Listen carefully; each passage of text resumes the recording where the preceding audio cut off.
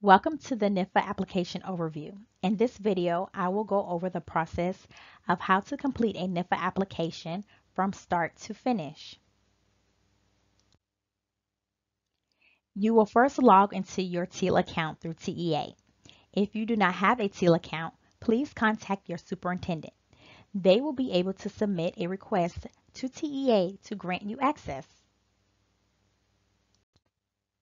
Once you're logged into your TEAL account, you will look under the Foundation School Program, also known as FSP, for your ISD or charter school. Please make sure that the NIFA user is listed as a role in the Foundation School Program. This will give you the ability to access the NIFA application.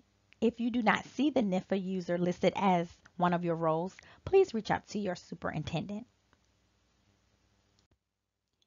Once you have selected your ISD or charter school, it should bring you to the FSP homepage. You should see your ISD or charter school name at the top of the page.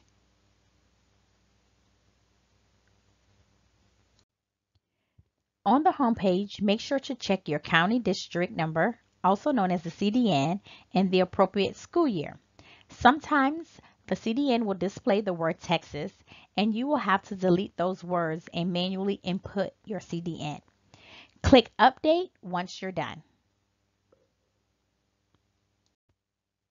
You will then hover over Programs and select NIFA.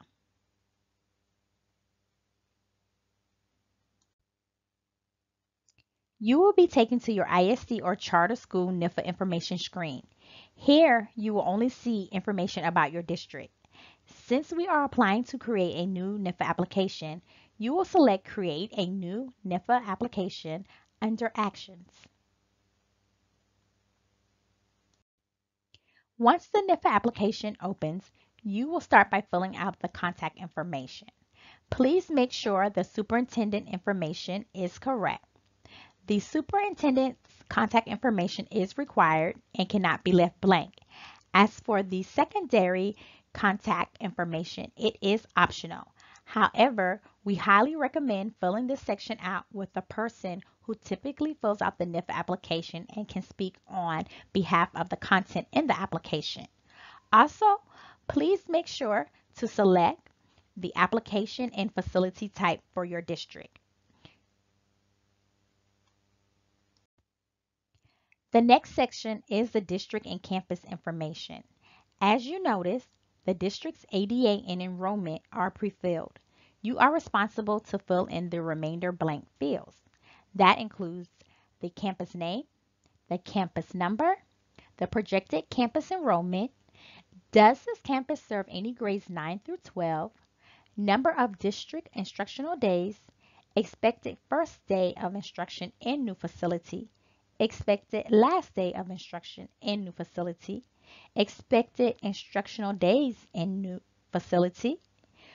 Once you have filled in everything, the estimated campus allotment will display.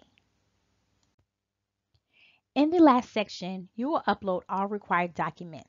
These documents will include a demolition plan, if applicable, a floor plan, a legal document, a photograph, and a site plan. Please read the instructions before trying to upload any required documents. You will need to upload all required documents before you can submit the NIFA application. Once all files have been attached, you will see it look like this. You are then ready to submit the application to the superintendent. Here's an example of how the first two sections should look once you have input your district's information. After you click Submit to Superintendent, it should bring you back to your ISD or Charter School NIFA information page. You will see the application you completed in Save status. Please reach out to your superintendent and have them log into their TEAL account following the same process as you did at the beginning of this video.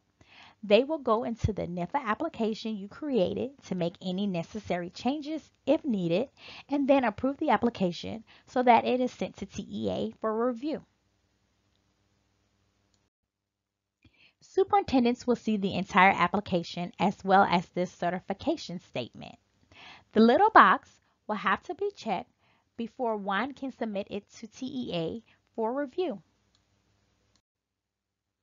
Once the financial analyst has reviewed your district's NIFA application, if approved, the status will change from saved to approved.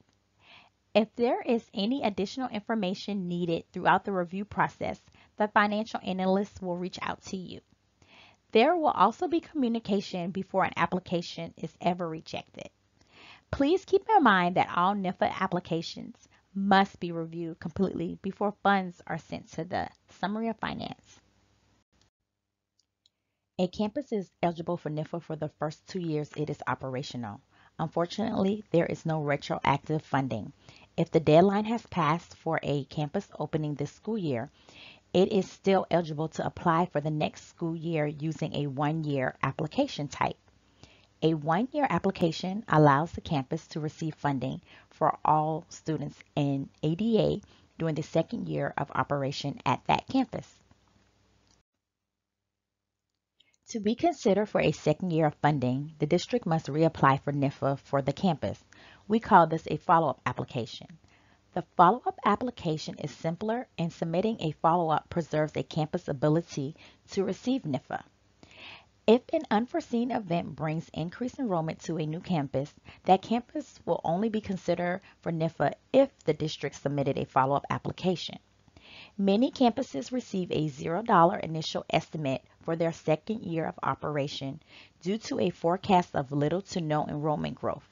However, many of these same campuses also end up receiving some funding based on an increase in ADA during the second year of operation. If there are additional questions or concerns, please don't hesitate to reach out to the NIFA financial analyst.